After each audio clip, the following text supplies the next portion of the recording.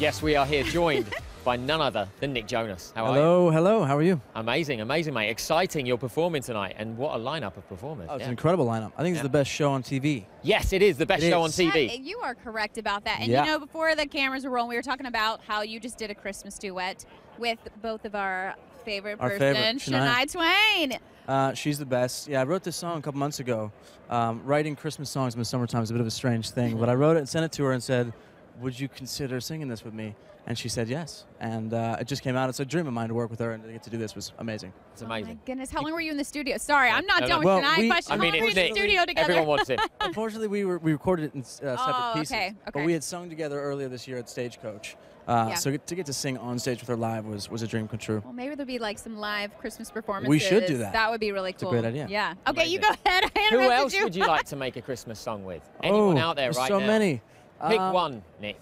I think I mean I've always dreamed of working with Kanye. If Kanye wants to do a Christmas song, let me know, or any song for that matter.